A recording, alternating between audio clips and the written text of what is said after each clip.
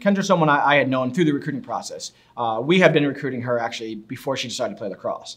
Uh, and so when she contacted me, you know, obviously the, the, first thing she had to do was was to clear everything with uh, with Katie and, and, the and the lacrosse staff, which um, you know I don't know Katie well well, but I know her well enough to know that she wants what's best for every student athlete she ever comes across, and she thought it'd be a great experience for for Kendra. So uh, Kendra came aboard, and, and just like she's a dynamic and powerful athlete on the lacrosse side, she turned out to be a, a dynamic and powerful athlete on, on, on our side. So, um, you know, she, she's, she's gritty, she's fast, she's strong, uh, and more important than all of that, uh, she fits the culture mold, mold that, that we've been asking for, uh, or that, that, we kind of demand from any student athlete who, who, who's in and around our program. She is uh, full of personality, um, full of full of full of drive, but does so in the right way. Um, is polite, is respectful, uh, wants her teammates to do well, wants to do well herself.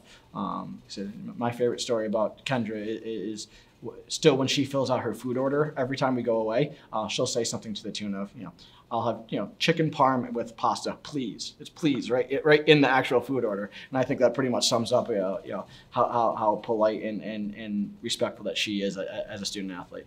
Um, even better that she she's you know powerful and strong and, and helps push our team forward